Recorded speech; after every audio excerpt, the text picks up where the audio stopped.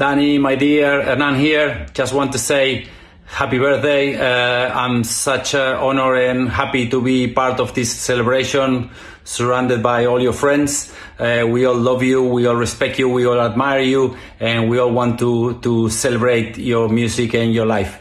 Um, I send you a big, big hug and hope we're gonna be able together to spend time soon. Bye bye.